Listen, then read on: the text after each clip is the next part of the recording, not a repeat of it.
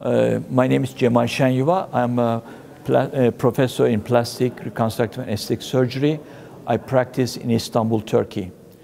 So, um, for uh, my uh, loved fellows, uh, physicians, I want to talk today about body contouring surgery. I like very much. I do routinely, and uh, I'm very busy. I have a busy practice because I choose these topics. So body contouring means surgery below the neck. So of course I do facelift surgery or face surgery. I introduce my, myself uh, like body contouring surgery because I deal the rest of the body.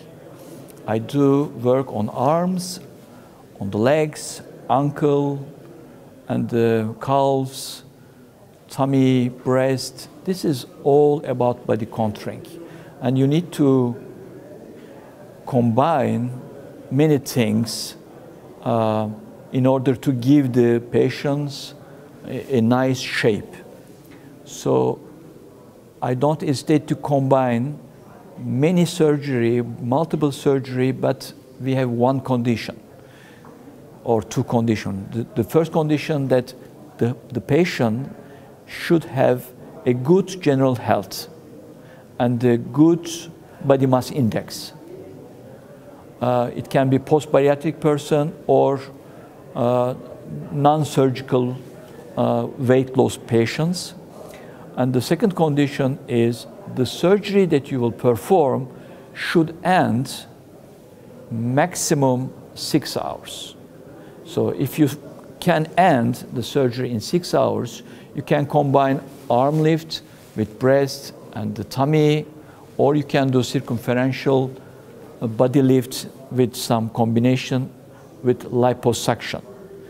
In my practice that I'm doing uh, almost 30 years in, in Turkey, I did not give any blood transfusion in any of my patients.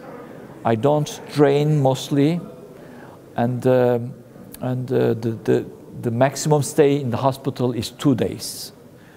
And uh, my complication rates is very low, but the, the message that I want to give you is to make good selection of patients.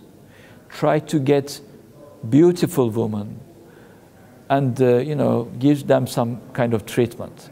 Don't start with heavy patients with you know poor health conditions. Thank you.